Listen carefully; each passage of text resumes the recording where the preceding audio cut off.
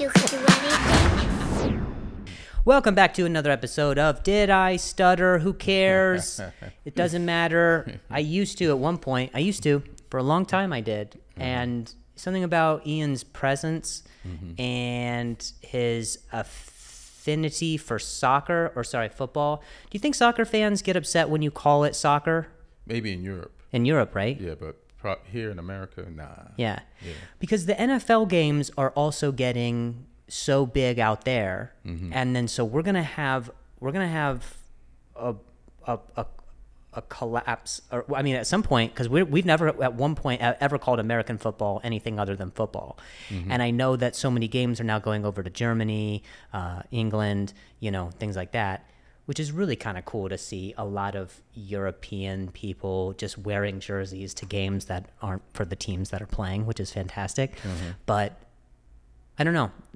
I, I, that feels like a revolution that is imminent, which is football fans out there who are fans of both football and football are mm-hmm. going to have a tough time delineating which Like, what is football which. you talking about? Yeah, which football are you saying here? yeah, yeah. What you what, what, like? What do you mean? And there's there can't be a world where people over in Europe are fans of American football, but not but not football, soccer football, because soccer football, like that's like the OG. Yeah, I mean, you'd be surprised. There's probably one person in Europe that doesn't like football, football, soccer, football. Yeah, and that- that person's probably ostracized. but as far as like the two words clashing, like you know, there's words in England that have always meant different things. yeah, You know, like cigarettes here Yeah. is fag there. Yeah. Like when I was growing up. is that still what happens over there? They I don't know. I haven't been there in a while. Yeah, But that it, I, I, I don't understand why that was the word. yeah, Yeah. I don't understand. I mean, I but know that knickers is panties or Right. underwear. right. And so I know that there's something that they say is um, they had me, they had me in, they had me in stitch. What do they say? They say something like they had me, not in stitches, but uh, they say something over there for like when when when they're laughing so much, they eh, eh, or they're they're they're having such a good time as far as comedy. There's something that they said. I remember when I was when I was performing out there. Uh, they that was this thing that they said a lot was they you had me.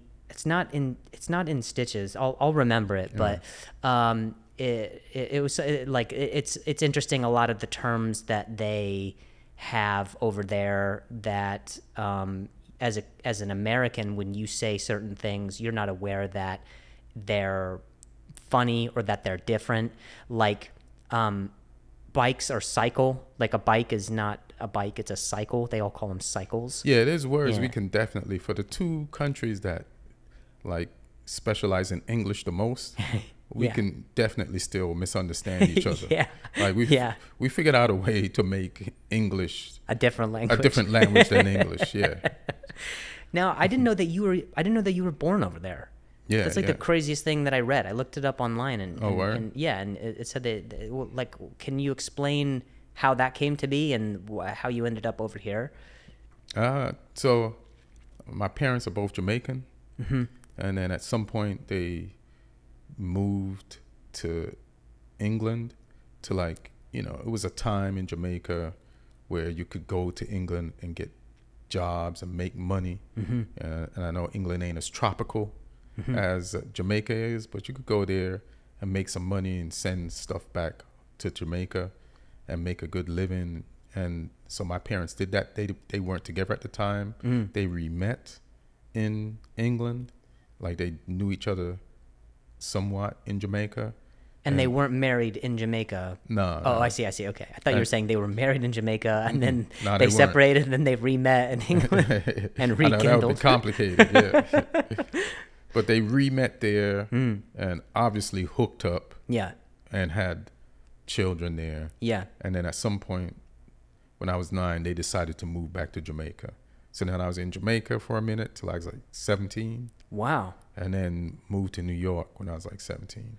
What prompted the move to New York? Was that by yourself?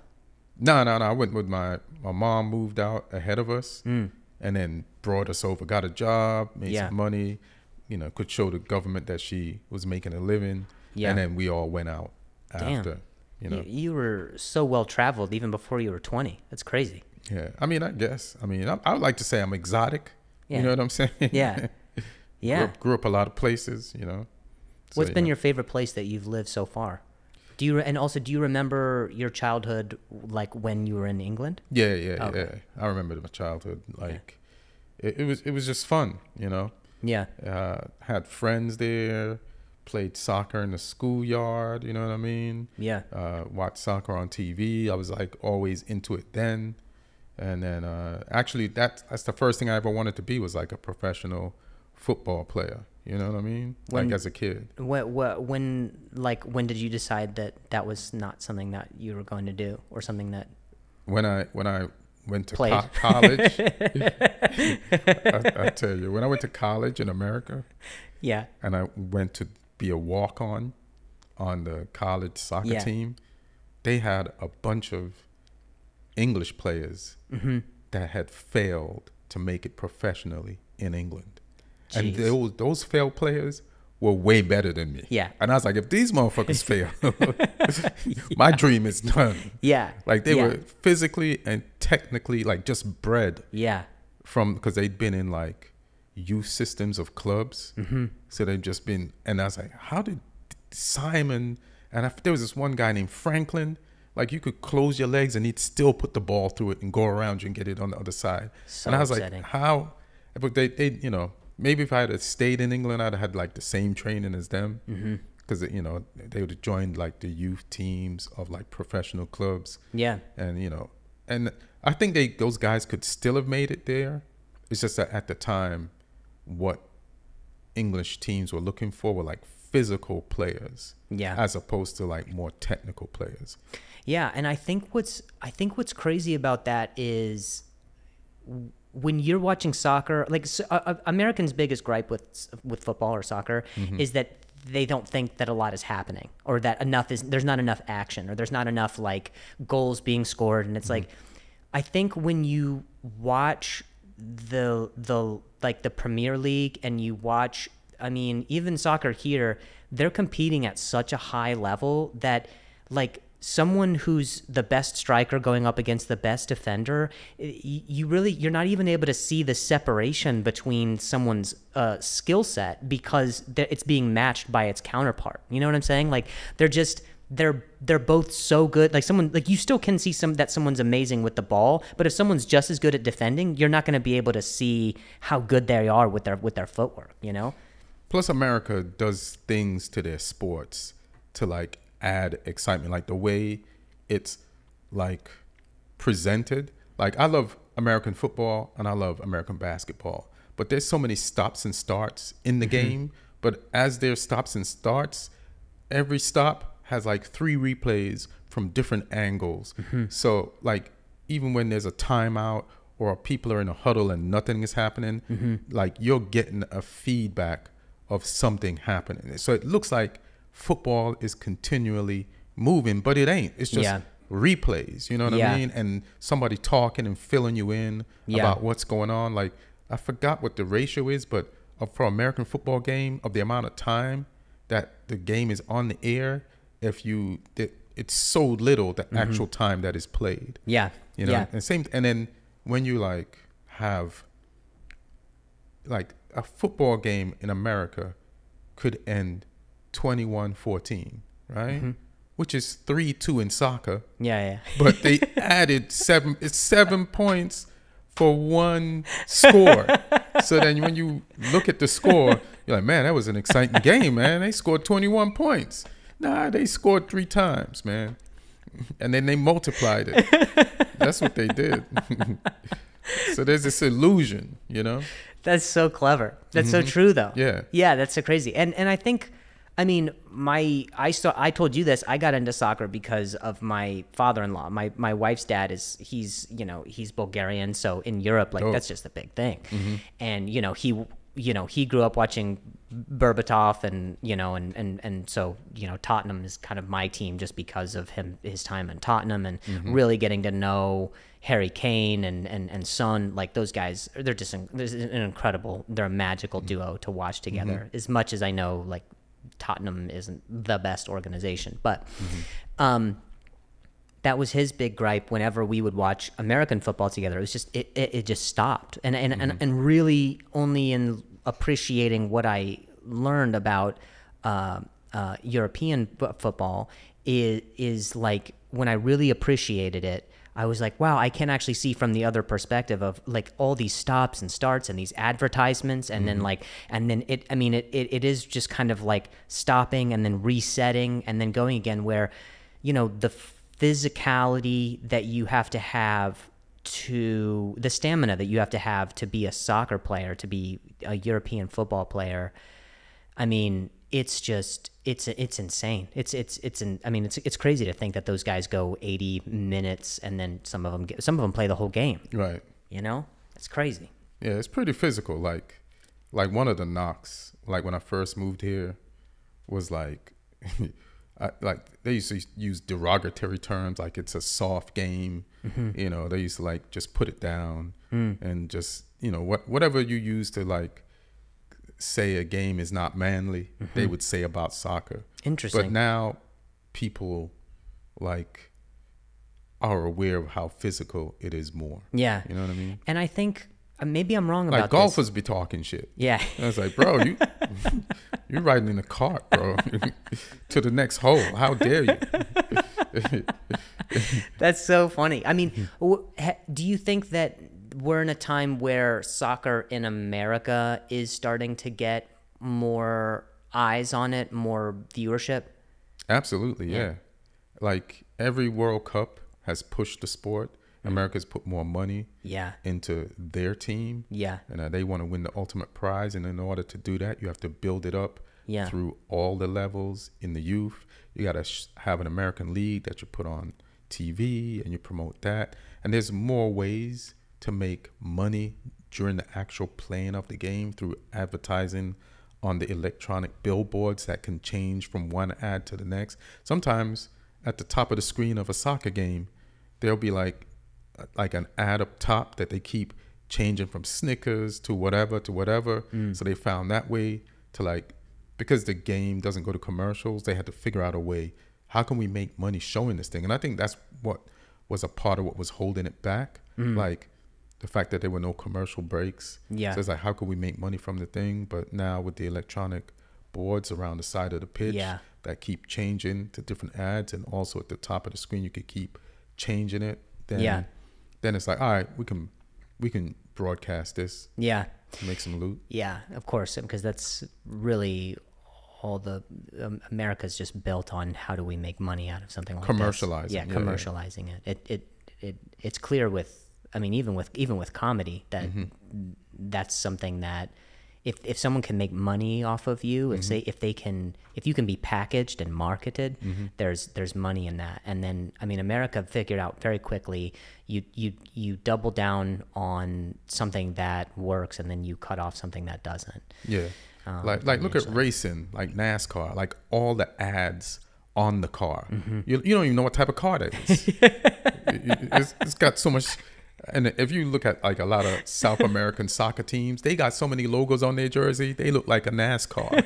I was like, what team is that? You don't even see the team thing. It's like it's the, the person's wearing multiple billboards on their jersey. You know, and even you know even European soccer, you know, like uh, you know you have whatever the sponsor is on the shirt. That's a part of the shirt. Sharp. Yeah. Used to be for United, and now they got like another ad on the shoulder. Yeah. So it's it's bananas. Like they you can put an ad anywhere. It's wild. Yeah. They can't. You can, and they do. Um. So what?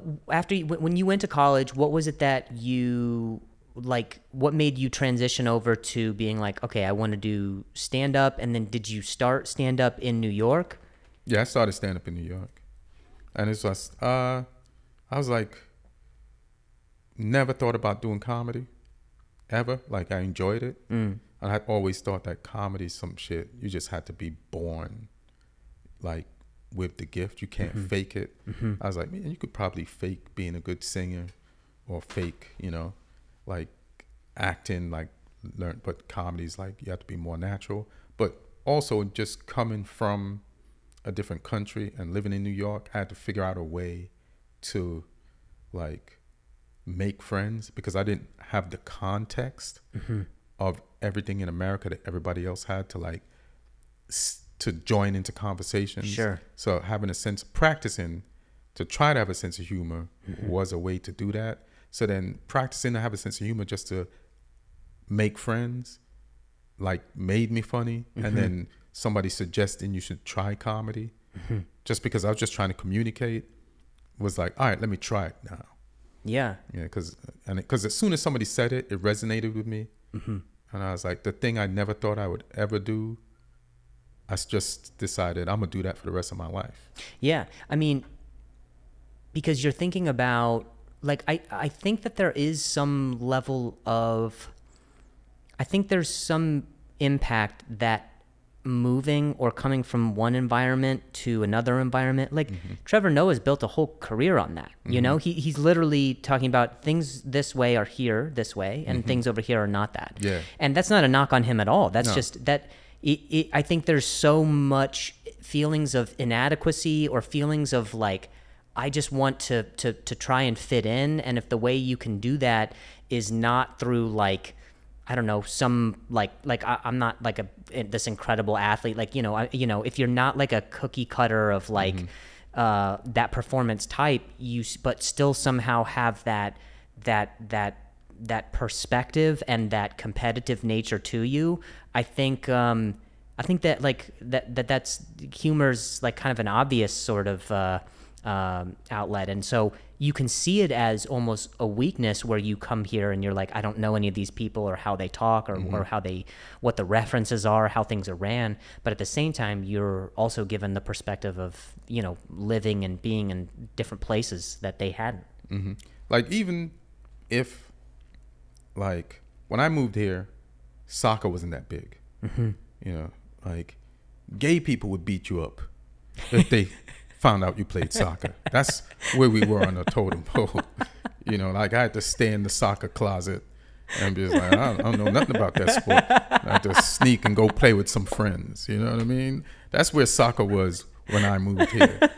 So, so soccer wasn't going to be the way to socialize. It helped me socialize on a certain level. Yeah. You know, so I had to find something more universal, Yeah. and and that was like making people laugh. You know what I mean? Yeah.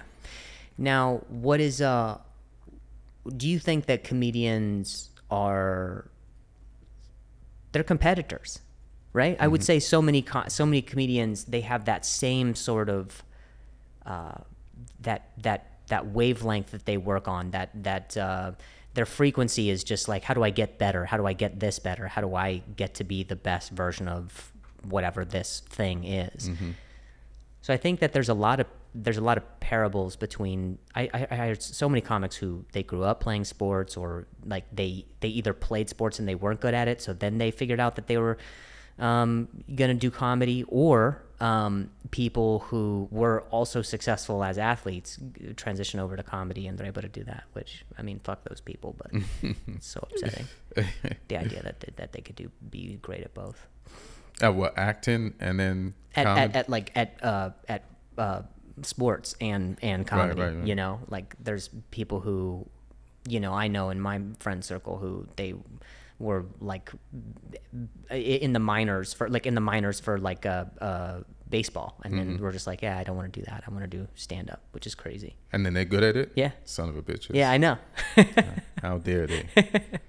you you know, there's a basketball player, like professional ex NBA player. I saw him the other day and I didn't recognize that it was him. And then uh, I- he was mad humble, mm-hmm. you know, and he's brand new at it. So we we spoke a little bit, and I was like, this dude's mad tall. And then after he went upstairs to the belly room and did his set, which I didn't see, mm. and me and the other comics were talking about him the next day, and I said that's Big Baby. I forgot what Big Baby's nickname is, but that he was a legit NBA player. Now he's starting to do stand up, really And just from his disposition, I was like, in a few years, this motherfucker's gonna be funny, bro. so you're gonna make money in the NBA and in comedy, asshole. Wow. I mean, Disrespect. Blake, Blake Griffin was going on stage for a while as well. he was a natural. yeah, yeah, Yeah, he yeah. was too. I mean, I saw him at Just for Laughs, and it was like, what, what, what? Like, this is crazy. This is like his second Just for Laughs. I just got in. Yeah, you know? he's already rich. Yeah, Yeah. yeah. You're fighting through a stutter, and this guy is a specimen who's rich, who could jump over cars. He's won the dunk contest. What is he doing here? Taking my yeah, job. it's crazy. I mean, uh, and then they have um, uh, what's the who's the who's the rapper that T.I. T.I.'s doing Oh, comedy right doing now comedy too. now, yeah. It's crazy. Yeah, he's gonna get good at it. Yeah. No, I mean, it's like it's not it's not it, it do. I mean, do whatever it is that you want to do, but I mean. it it's crazy to think that these guys are they've they're just like they've conquered what they what you would consider to be conquered in their field Right. and then you know come over come over to to comedy and i think it's because there's just there's just this allure a- around it that's just so like mm-hmm. there's so much control over the art form from a singular standpoint which is i'm i'm in total control of however i want to do this. Mm-hmm. And it's like i think you just you you you see some you, if you say something to someone one time where they thought it was funny or they thought it was a story you you almost flip that switch of just like maybe I can do this on stage. Maybe I can and then when you do eventually go on stage you you do that more often. Like we end up you know as as comics we end up going oh that could be something. That could be something. And it's just I think we get addicted to the idea that you can use a, a, a thing on a, a you can use something under that other that new medium that new vehicle that you just create that you just created that really comes from like day-to-day conversation and activity you know Yeah. There's something profound about T.I. doing stand up because you're a rapper. You think as a rapper you get to say everything you want to say, yeah, i guess that's true right? But Yeah. then you're coming to comedy to say even more. Like, yeah or so- but in a funny way but in a funny way. I mean, rap has this this shroud of like hardness around it, like this Mm-hmm. shroud of just like you you you know you really have to like grind your way up, and Mm-hmm. and and there's some sense of like. uh like the p- every rapper is like came from like you know unfavorable circumstances or Right. whatever and it's just it to to go on stage and make someone laugh it feels so different than rapping Yeah. I mean, he's going to have to like work at it a lot, yeah you know, but you know, if he can I feel like if I was like he already knows how to write yeah in a form of writing. Yeah. He just has to translate that to comedy. He always has already has stage presence. Mm-hmm. So, you know, it just it's just going to still there's a process. yeah And there's a time it, it's time consuming and you have to commit to it. But as long as he does, he should be all right. Yeah, and I think there's also a humility component, or not even Yeah, humi- yeah. you know, a humility, but just uh, you have to just be human. And I think I think what's hard about it from someone who is, comes from a place of like success before is like Mm-hmm. you, you still have to find a way that people can relate to your story or at least empathize with it. You Yeah. know. hmm Yeah. Um, what is your process for when you uh, end up writing something or, or you end up coming up with something like what is it that you you found because you've been doing this you've been doing this for 20 something years Yeah, yeah. yeah it's Longer than that, yeah i mean yeah. Mm-hmm. it's insane it's in, it's it's insane to to be around it so like for that long what what's what's your process for like um how you start something and and and knowing that it's got legs Uh, like everything is like a one liner. mm-hmm And then, so I was used to do one liners, but then I was like, man, you know how many one liners you're going to need, how many topics you're going to need to get a one hour set? mm-hmm So then it was like, what else? There's more meat on the bone of this topic. So just Mhm. explore the entire topic of this one liner. yeah And then you get a, a joke from this part, a joke from this part, two jokes from that part, three tags from the original part. And then you put it in an order that almost makes a bit or a story. mm-hmm And then when you've like like exhausted all the meat on the bone, then that's it. But I also leave the bit open for improvement. I never say this bit is done. I, I don't have any more to add to it right now, but something could happen at any moment Yeah. If I just leave it open and I can add another tag, if not a whole nother part to it. So I Yeah. just basically do it like that. Do you write on stage at all, or are you someone who prepares before and you're just like, that's what I'm gonna work from? And that was a that was another thing. Like people say, This is how I write, this is how I write. And say there's like four ways to write. I write all four ways. Yeah. And there could be more than four ways. I'll do it in the mirror. Mm-hmm. I'll sit down and write it out. Mm-hmm. I'll listen to the set. And as I listen to the set on the way to the club or whatever, Yeah. I'll hear something I didn't remember I said and make sure I incorporate that. Or I'll hear a space where I can throw a, a punchline mm-hmm. that I didn't think was there Yeah. just by listening. I'll imagine the whole set. Like I used to live in a valley mm-hmm. and I didn't used to record my set, but on the way home, I'd go through the set in my head and I would see where I could add jokes Yeah. to what I did that night. Yeah. And I also would imagine like what was my mood when I went on stage that night? Like like if the comic before you kills, it kind of affects you sometime. And if they mm-hmm. bomb, it also determines how you're gonna approach the audience. So mm-hmm. I'd take all that into consideration Yeah. so that when I went through the set, I'd have my emotions involved too, hmm. and also use that to help me like figure out what happened and how to improve it. How calculated are uh, how I mean how connected to you are you to your um, feelings and your moods? Like how privy are you to what you're feeling just before you go on stage? Because you're someone who to me mm-hmm. you seem so cerebral, so calculated with mm-hmm. you're you know, you're a wordsmith. You're someone who you you get rid of any fat on something and you're constantly playing with the words. So I'm, I'm curious how does the connection from the way you're feeling like how connected are you to that and does that like does that feel like that's influencing anything uh, uh, as far as the words Say that again? No, I'm just. what you say, Drew?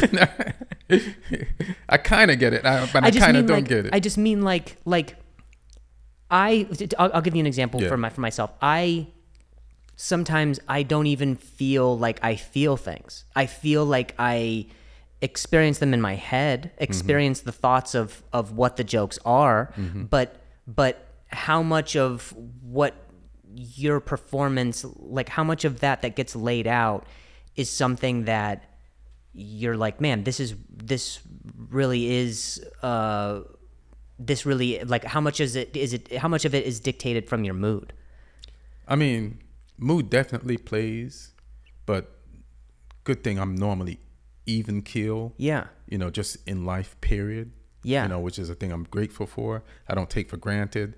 So then, and then, listen, if you're a comic, and th- let me just say for me, but it might be for other people, like you could be sick all day, but you have to do a spot. The moment you have to do that spot, that spot is the only time for that day when you don't feel that fever, you don't feel that stomach ache, mm-hmm. like you you disconnect from anything that's going on around you and connect to the job at hand. Mm-hmm.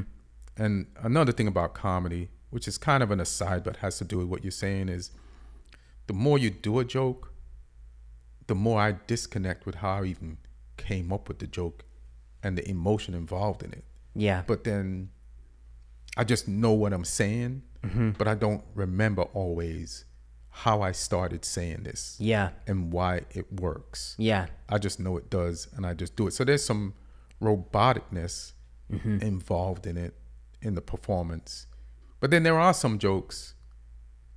There's this one joke that takes me out of being a robotic person on stage yeah because for some reason I'm still involved with it emotionally. yeah You know, it's it's a it's a joke about uh, having a friend who's a black albino who says Yeah. the N word a lot. Yeah. For some reason, like it makes me I live that joke pretty much every time I say it. Yeah. Yeah. I think I I mean I think I, I, I the reason I ask is just because, you know, you've been doing it for so long. I've I've you know, I've been doing it 11 years and That's all I've been doing it for. and so you know i just i i always want to know i there, i always want to learn from people mm-hmm. who've been doing it for so long where they felt either slumps or or, or, or pitfalls or, or or feelings of like man this feels this feels different. Because you know in those first few years where you're starting mm-hmm. everything is so exciting. Everything is just so like even a bomb is like fine because it's just like you know all right you know like i i'm still doing this and this is still mm-hmm. exciting.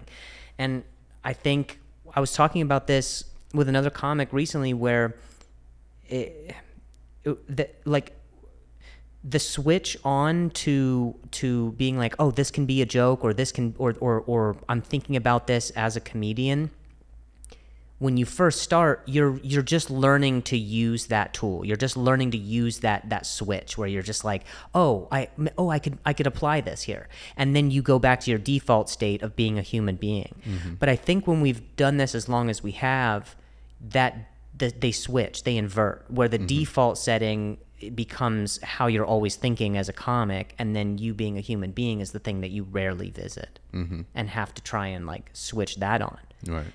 And that's so challenging. I mean, have, I mean, at least, I mean, at least for me, and at least this for this comic that I was that I was chatting with. Have you ever in in your time felt like you were in a in a in a slump, or felt like you were in like, man, like comedy's not for me, or or uh, or have you always remained, you know, mm, even keeled, positive, um, and always known that you were going to get out of it?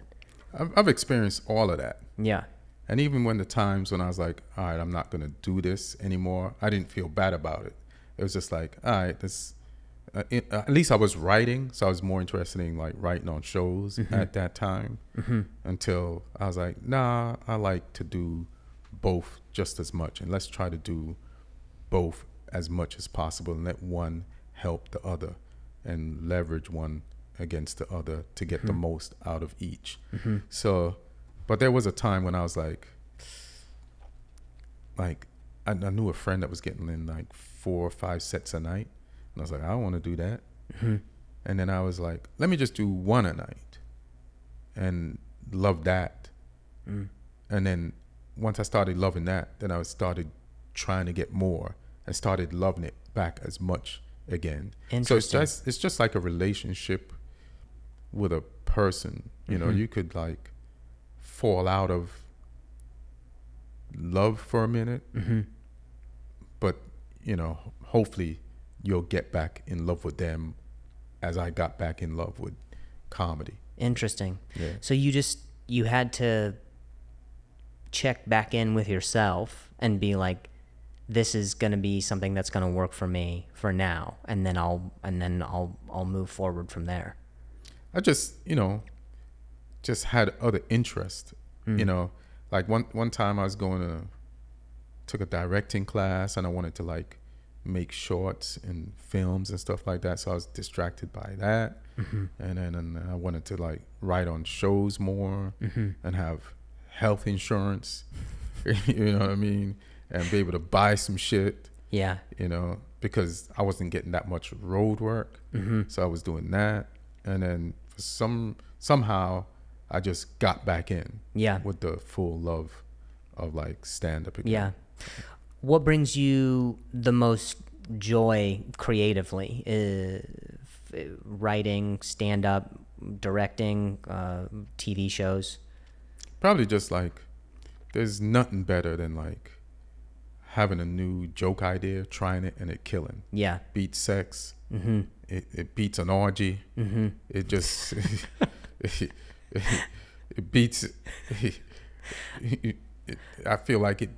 It's euphoric. It's like taking Molly, Mm-hmm. you know, or something like that. Feeling like that joke worked. Yeah. Wow. Yeah. And you get to think about it all night. Yeah. And then you can't wait to do stand up again to try it again and then to add some shit to it like like the fact that that exists for us to feel that like and there's no especially when you're doing mics and there's you're not getting paid for it but the fact that you could get a feeling that people pay for Yeah. and get that feeling yourself Mm-hmm. is to me like a gift. Do you ever remember a time in your career where you bet on yourself and it backfired? Like where you you took a risk and it didn't work out? Nah, only when I didn't bet on myself has shit backfired. Interesting. Do you have an example? Uh, like yeah. So even with soccer, right? Soccer is why I never really quit comedy, because when I kind of gave up on it, yeah, those dudes were nice, you know, and they were better than me, and they had failed at something that I hadn't even tried. But I feel like if I'd have like used them to make me better at the game, and mm-hmm. not like if they didn't make it, I ain't gonna make it, mm-hmm. then I would have like still got somewhere. Mm-hmm.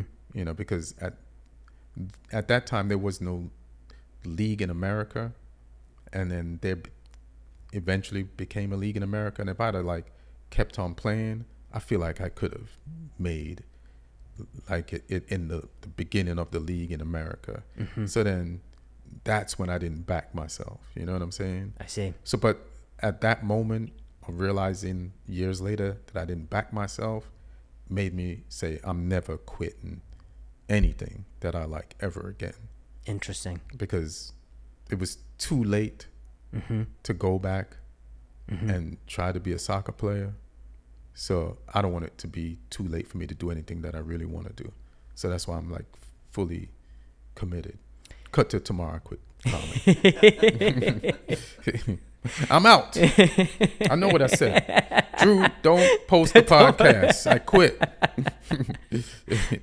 What about um what about relationships? Are you have you ever like met someone where you thought they were the person and they were okay with what you do and what you don't? It's a fickle thing what we what we have and having to be with somebody who's okay with that. Are you having trouble with your wife? Yeah, that's what I was asking. no, I just mean like, have you, um, you know, or, or, or are you in a relationship right now? Mm-mm. No. And do you ever? I mean, were you ever in a long relationship? Yeah, yeah, yeah. Did that person get it? Did they not? Yeah, they got it. But, you know, there's other things that will make like a relationship not work. Sure. You know what I mean? So it, it's, you know, it's fi- fine. It's going to be, you, you, there's a challenge of finding someone who gets it, but then there's still the other things that might not make a relationship work. But I, I, I do think it is probably challenging for like a comic to like meet someone who gets it. Yeah. Like I've seen comics take their partner to the shows in the beginning of their relationship just to kind of like train them Mm-hmm. and give them an idea of like this is what I'm doing. Yeah. You know what I mean? Yeah. This is what I'm doing. This is how it works. So that if you're home and I'm out, you know what I'm doing. What this is a peace like. of mind. Yeah. And I, if I come home late, it's because after we did the show and after I waited two hours to get on, I went with some friends to go eat Mm-hmm. and laugh and- to get over the bad set. Yeah. I'm not out doing something that I ain't supposed to be doing. Yeah. It's just like you, you have to like kind of like, because the concept of comedy is hard for us as comics to grasp. We don't even know what it is until we're doing it Mm-hmm. and living through it. So for somebody who's not even into it, Yeah. For them to understand it, you almost have to bring them with you Yeah. to give them a view of exactly what's going on. That's why so many comics date each other. Yeah, yeah. It's just so you don't have to break break them in. Yeah, Yeah. yeah. Have you ever have you ever dated a, a comic before? Yeah, yeah. I dated a I dated a comic once before, and it was fine, but it was it, it- I mean, I, it would be I think so I, difficult. I have so many friends who are in mm-hmm. relationships where their partner is a comic, and it's just it's got to be so hard to just you're not competing, but at the same time, you there's there's things that happen that are like uh, where you're wondering why not why not me or why not why not that opportunity for me. That's funny, right? Because if you're dating someone and their joke that they post like kills, Mm-hmm. and you posted a better joke that didn't kill. You know, you're like, hmm, what is that joke? Get all those likes. like, hey, I mean, she's got jokes, but that ain't even one of the best ones. Like, and I'm, I gotta be like, hey, that's a great joke. yeah, I gotta support. I gotta support. This is her worst joke. I ain't gonna support her worst joke. This is this is a lie to me. This this will destroy me as a my moral comedy fiber. Uh, so true. I um, yeah, I I I always wonder about um, I always wonder about people who are like you know even like Tom Segura and Christina. It's just like it, it- Mm-hmm. That's it's just- magical, It's right? wild. Yeah, yeah. It's wild. Both both both very funny individuals, but Mm-hmm. just both like at the top of their of their game and of this game. Mm-hmm. You know, it's just crazy. Yeah, that's magical that that's working. And you see them on the podcast. Yeah. Like, even if I loved someone and I, they were a comic, I was like, would I want to like do a podcast with them? And the Yeah. fact that theirs works together, Yeah. I'm like, like what type of like I don't even know what the word is. That is that work? Like how is that working? You know what I mean? Because I'd like to separate things at Yeah. some point, but it's but it's it's fantastic. man. Yeah, yeah, it's a they're they're it shows that everything is possible. Yeah, that's true. I mean, but their connection is like uh, the, their their rapport is just intrinsic. So it's just it makes it makes so much sense for them.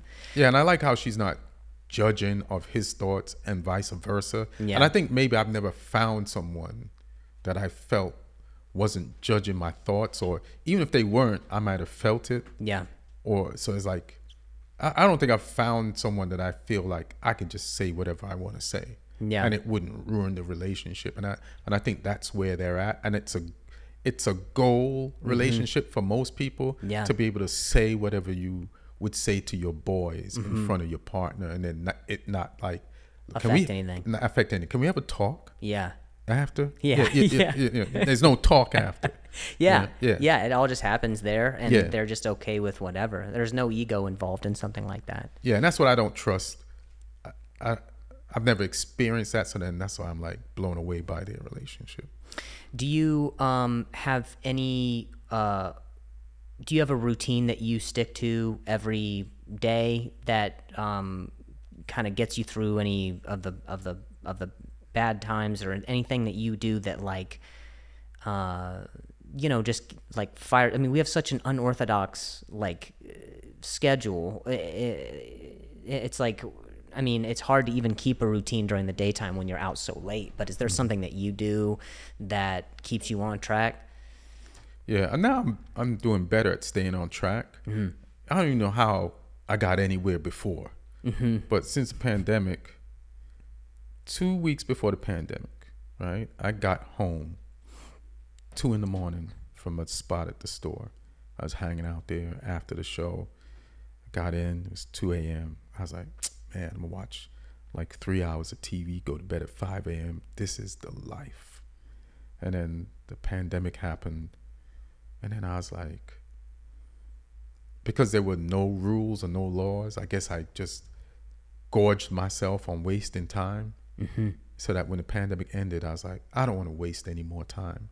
Like I mm. wasted a whole pandemic, and people improved themselves during the pandemic. Mm-hmm. So now I was like, I'm gonna use the time after the pandemic to improve myself. So now I try to go to bed at 12. Maybe I'll push it to one. I need six hours of sleep so I can get up at seven or 6 a.m. And then I can like meditate in the morning and mm. stuff, and then hit the coffee shop early, edit videos or make a video, Yeah. or start like writing a script, mm-hmm. or start working on jokes or any work I got to do. I just kind of knock it out early. So, mm. like today, I was at the coffee shop already. Mm. I might go back after this, but I got a decent amount of shit done. So Yeah. now I can just run errands Yeah. do your podcast, run errands, or go back to the coffee shop. Yeah. And then it, it's just a more productive time now. Is that where you find most of your uh, writing is done? Is it is at the coffee shop? Yeah, but like I said, I, I'll write different places. So like on my way to shows, I'm listening to my set. Mm-hmm. You know, if I if I'm on the road, I listen to the to the last time I did the hour, and like work on it before I do it that weekend. Yeah. and then you know so Yeah. but but it's in a different way than just like sitting at the coffee shop. Yeah. Um, well, I uh, I um, love how much that you. I love how much you write. I love watching you work on stage. Thanks, and um, Same, same, same to you. Like you're killing it, bro. Um, thank you. And I, um, yeah, I, you know, I, I, I love having people on where I just get to ask them, you know, about their about their journey and the things that they did to try and get to where they are. And so many people are so different. So that's that's something that I really love and and, and appreciate. Um, and now you have a you have a podcast that you that you do, and it's a it's a soccer related podcast. Yeah, I'm dressed like I'm on my Yeah, podcast. I know. I know. I, I dress for I dress Yeah, for, for- appreciate for, you. Mm-hmm. you as well. Um, what's a, and your podcast is called? A soccer comic rant. Yeah. We try to be funny, but we be talking some serious soccer shit about the Premier League and European soccer. Yeah. Yeah, and shit's getting crazy with that. So Mm-hmm. um, check out uh, Ian Edwards everywhere on social media, and um, you're on the road as well. Yeah, I got some dates. I got to get more, but I, I got a few. Okay, cool. Yeah. Um, uh, well, great. Well, I'm, I appreciate you coming on, and uh, always uh, always good to see you. Thanks, brother. Appreciate you. And you're a real motherfucking comic, man. Thank you. Keep doing your thing. Thank you, man. Dream that you um you had to do so much you could do anything?